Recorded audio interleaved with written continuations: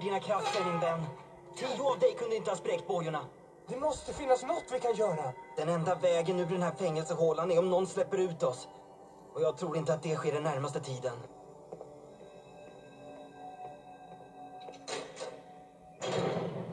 Du, vad gör du här nere? Jag funderar på att göra något dumdristigt. Jag funderar på att hjälpa er. Men jag vill veta någonting först. Är det sant det du sa? Att kejsaren en gång var en god man? Ja, Och du tror att du kan väcka honom? om jag kan få bort spiran från honom.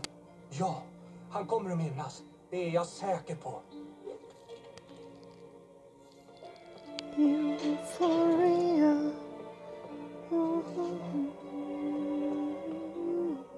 Jag hoppas du har rätt.